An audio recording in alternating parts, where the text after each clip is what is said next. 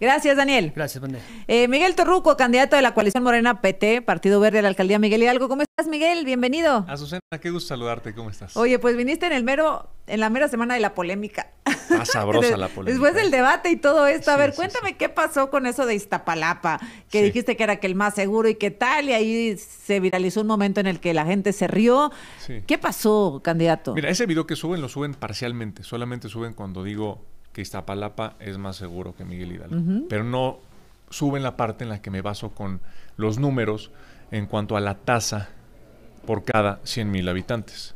Estamos hablando de que Miguel Hidalgo tiene 414 mil habitantes. Iztapalapa tiene casi 1.800.000. Bueno, un poquito más de 1.800.000. Es lógico que entre más población haya, mayor delincuencia hay, eso es lógico. Pero la tasa de cada 100.000 habitantes es utilizada en métodos de seguridad y en métodos de salud. Entonces, si nos basamos en el método de la, en la tasa por cada 100.000 habitantes, Miguel Hidalgo tiene 326 delitos de alto impacto e Iztapalapa tiene 290. Es decir, Miguel Hidalgo tiene más delitos de alto impacto basados en la tasa por cada 100.000 habitantes. Eso es todo. Pero te llovió. Pero es que pues, los videos que pusieron... O sea, tú sostienes lo que dices, que Por la Miguel. Hidalgo es más... ¿Cómo fue tu fraseo? Bajo la tasa de cada 100.000 habitantes es más inseguro. ¿Es más inseguro? O sea, hay más delitos de alto impacto. Miguel por Hidalgo cada- que Iztapalapa. En resumen, hay más delitos de alto impacto en Miguel Hidalgo que en Iztapalapa por cada 100.000 habitantes. Bueno, y luego te llovió también por otra foto, la que publicaste con uno de tus contrincantes subido en un banquito. Es una foto del, del debate. Y luego le quitaron el banquito. Bueno, él decidió quitarlo. ¿Y, y cuál era la intención de, de- de transmitir esa foto, Miguel? Porque también te es- criticaron mucho y pues te tengo que Simplemente preguntar. es una foto de. O sea, ¿lo hiciste con la intención de evidenciar algo respecto a No, para una nada. característica física? No, para nada. Yo creo que la altura se mide que- con la mo- moralidad, la ética y los principios, no en, la, en lo físico. Eh, la Miguel Hidalgo, ¿por qué la quieres eh, gobernar? Eh, hay mucha desigualdad, zonas conflictivas, algunas, es. es. decir, hay zonas muy privilegiadas sí. y zonas muy abandonadas. ¿Cómo hacerle para equilibrar eso, Miguel? Mira, Miguel Hidalgo, algunas personas piensan que solamente es Polanco, Chapultepec y Lomas. La realidad es que son 92 colonias y el 60% de esas colonias son zonas populares. Como le digo a todas las personas que me entrevistan, y te lo digo también a Susana, ojalá me acompañaras un día a recorrer las Pensiles, a recorrer la Daniel Garza, la ampliación Daniel Garza, Tacubaya, Tacuba. No, pues yo vivo aquí. O sea, sí conozco. Sí, pues. pe- pero que me acompañes a recorrer las calles. Y un día acompáñame a tú, a ver- tú a ver los cables, todas esas arañas Sí, sí, sí, horribles. horrorosas. Los baches. Horrorosas. La falta de, de señalización en algunas calles. La falta de servicios urbanos, servicios El abandono de plazas. Así es, de parques públicos. Aquí estamos en Polanco. Dime, ¿cómo ves Parque Lincoln? Abandonado en su totalidad. Imagínate cómo está el Parque Cañitas. ¿Por qué es esto? Porque hay un abandono total de liderazgo, de eficiencia y sobre todo de voluntad política de solucionar las cosas.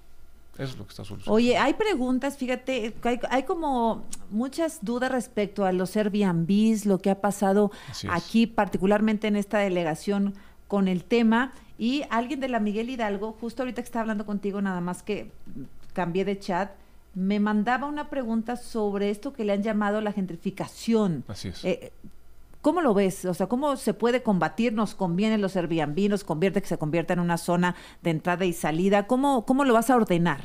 Mira, todo dentro del marco legal. Miguel Hidalgo produce el 4% del Producto Interno Bruto. En la zona de Polanco y Chapultepec contamos con los mejores hoteles del mundo que están en Miguel Hidalgo. Contamos con los mejores restaurantes. Pero ha venido todo este, este boom de la gentrificación donde están desplazando a las familias, a los vecinos que históricamente habían nacido y vivido en ciertas colonias. ¿Por qué? Pues porque de pronto están empezando a construir edificios y están desplazando a la gente por el mismo eh, valor de, de- de las casas y demás. ¿Qué es lo que se requiere? Ya existe un marco legal y hay que respetarlo. Sí hay que desarrollar ciertas zonas, pero hay que respetar otro tipo de zonas también. Para precisamente valorar que las personas que, que han vivido históricamente en estas zonas no sean desplazadas. ¿Cómo, ¿Cómo lo harás? ¿Es, un, ¿Es un plan de desarrollo urbano? ¿Es un plan de orden urbano? ¿Cómo lo haces? tiene que haber un plan de orden urbano. Y por ejemplo, lo que me dijiste los, de los Airbnbs. Atrás de Tres Picos, aquí en Polanco. El otro día estaba caminando por ahí, si no es que en Tres Picos, ¿eh? Y de pronto, un edificio eh, habitacional ya lo están adaptando para hacerlo un hotel Airbnb. exacto. Pero no tiene los permisos ni el uso de suelo para hacer eh, un, hotel. Hay usos de suelo pues, para, hoteles. Oye, Miguel, eh, ¿cuáles serían, no digamos cinco, tres, o cuál es el problema de la Miguel Hidalgo? El problema. El problema de Miguel Hidalgo, yo insisto que es la seguridad. Es la seguridad. Es la seguridad por las grandes brechas de desigualdad que hay y la falta de oportunidad. Porque aquí Polanco sí, muy bonito y los grandes empresarios y restaurantes. Pero yo insisto, en las zonas populares... Es la seguridad a pesar de ser ¿Cómo era tu frase? Es la tercera más insegura con los delitos de alto impacto ah, por cada 100.000 habitantes. Era más segura Iztapalapa, decías, ¿no? Entonces la Miguel Hidalgo es un problema eh, de seguridad. Iztapalapa tiene menor cantidad de delitos de alto impacto por cada 100.000 habitantes. Por esa tasa. digamos con esa especificación después de las críticas de ayer. A ver, la seguridad en Miguel Hidalgo. ¿Qué puede hacer un alcalde? Mira, primero tiene que haber un plan maestro de seguridad del cual me coordiné con Omar García Harfuch, que es un especialista en el tema, y con Ernestina Godoy.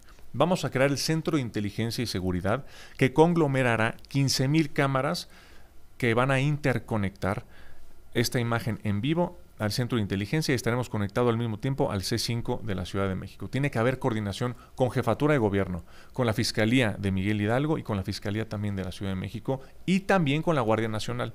Yo lo que vengo a, proponer y también a solucionar es el gran enlace que voy a tener con los tres niveles de gobierno. Se requiere un alcalde presente que tenga reuniones de gabinete de seguridad todos los días a las 6 de la mañana, desde con, con la Fiscalía, ya lo dije, con la Secretaría de Seguridad Ciudadana y con la Guardia Nacional. Bueno, Miguel, pues volvamos a platicar. Ese es tu gran proyecto, seguridad, es tu gran apuesta. Es la gran apuesta, seguridad y educación. Y el plan de reconciliación que ya te lo platicaremos. Bueno, suerte, candidato. Gracias.